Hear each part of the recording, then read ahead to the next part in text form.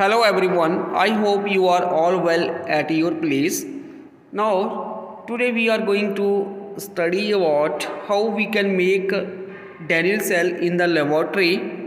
आज हम स्टडी करेंगे कि हम जो डैनियल सेल है उसको हम लेबॉर्ट्री में कैसे बना सकते हैं डैनियल सेल को बनाने के लिए हमें मटेरियल जो चाहिए कॉपर सल्फेट फिर उसके बाद हमें चाहिए डाइल्यूट सल्फ्यूरिक एसिड एक पोर स्पॉट और कॉपर का वेसल साथ में वाटर चेक करने के लिए कि वो सेल वर्क कर रहा है कि नहीं कर रहा है। हमें एक वोल्ट मीटर ले लिया हमने और साथ में ये कनेक्टिंग वायर्स सो so, अब हम देखते हैं कि हम उसको कैसे बना सकते हैं।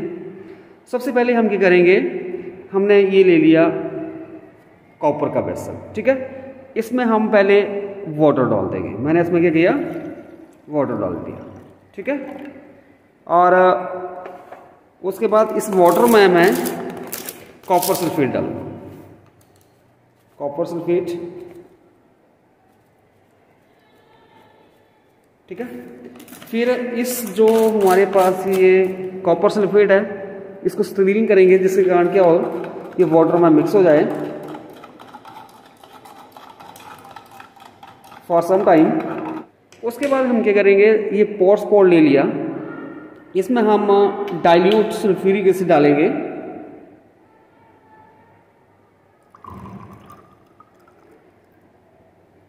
और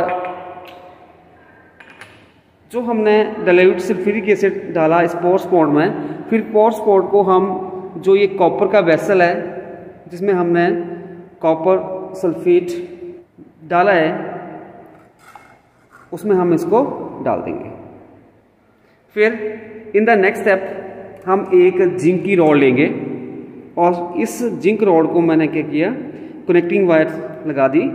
और इसको इस, जो ये सल्फ्यूरिक एसिड है, इसमें डाल दिया।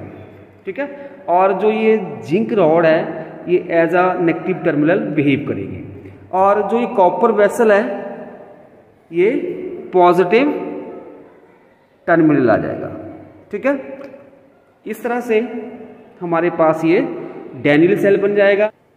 In the next step we have to check whether this cell is work or not अब हम चेक करेंगे कि जो हमने ये डैनियल सेल बनाया है ये काम कर रहा है कि नहीं कर रहा है? ये चार्ज है कि नहीं है? तो इसके लिए हम क्या करेंगे?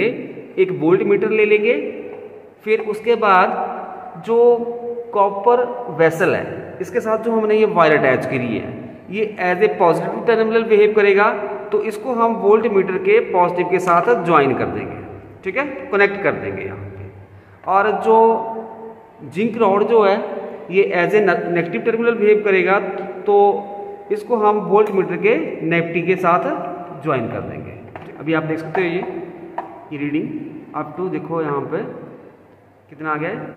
पॉइंट एट वोल्ट शो कर रहा है अभी। तो इस तरह से हमारे पास हम डैनियल सेल जो है उसको बना सकते हैं।